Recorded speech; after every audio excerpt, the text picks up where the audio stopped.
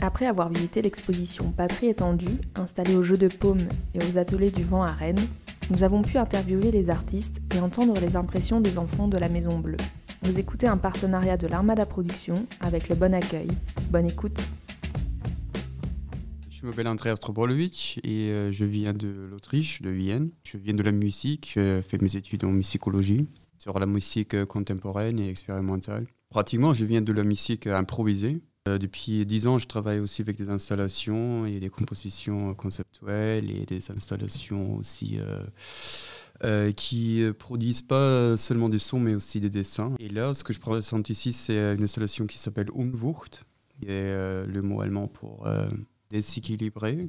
Et c'est composé par deux pieds de micro et deux ventilateurs et une caisse claire mettre des ventilateurs euh, pour euh, activer la, batterie Je travaille avec les moteurs depuis, je pense, euh, maintenant ça fait plus de 10 ans, dans plusieurs contextes. Alors j'ai construit des, instruments et d'autres installations.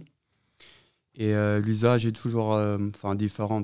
Par exemple, j'ai fait une installation où j'ai mis à la place de l'hélice des cordes, pas des cordes.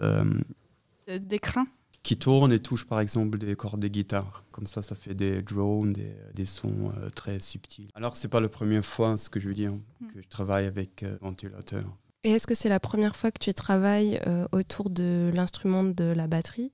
Hmm, Non, enfin, ça fait très longtemps que j'ai déjà travaillé avec la caisse claire aussi, mais d'une manière différente. Aussi avec les ventilateurs, mais qui étaient activés autrement, avec des sticks. Des, des balais, non? Et euh, à travers ça, enfin, j'ai, euh, à travers les vibrations et la friction, j'ai activé en fait cette caisse claire. Mais c'était pas comme ça, c'était plus indirect. Là, c'est directement que les baguettes euh, touchent la caisse claire. Est-ce que tu as déjà essayé d'utiliser d'autres baguettes avec d'autres matériaux? Là, c'est du bois. Ouais, j'ai essayé quand même des brushes. Je sais pas comment ça se dit. Oui, les balais pour le coup, c'est les brushes. Ouais. Et oui, ça, oui ça, c'est différent, c'est intéressant, mais oui, j'ai essayé, mais jamais montré en fait. C'était juste pour, pour moi. Est-ce que tu as déjà pensé à mettre une autre partie de la batterie et pas la caisse claire, mais pour produire un autre son? Je pense que la caisse claire, elle a quelque chose, elle a le. Elle a le timbre. Ah non, c'est pas le timbre, le truc au métal qui fait le son. Euh... Ouais, ça s'appelle un timbre ah, la caisse claire. Ouais. Voilà, ça.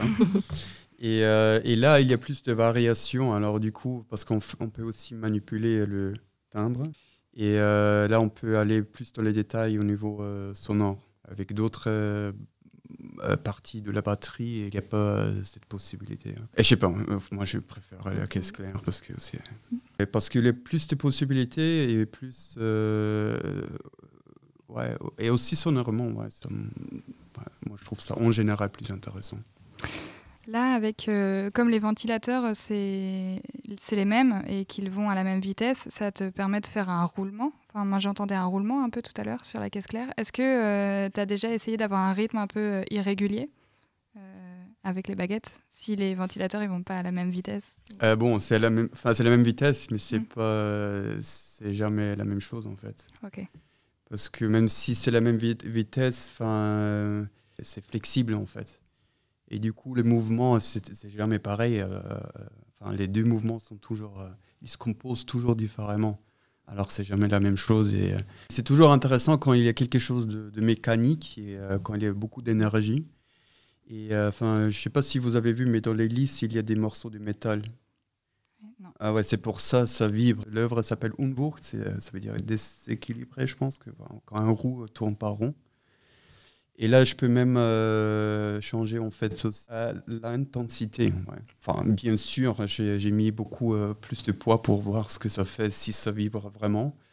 Et là, en fait, toute l'installation bouge. C'est pour ça qu'il y a aussi les sacs pour que ça, euh, pour que ça marche pas dans la salle, en fait. Et là, bien sûr, il y a des accidents. Bien sûr, c'est tombé, et c'est ça s'est éloigné. J'ai cassé pas mal d'hélices aussi.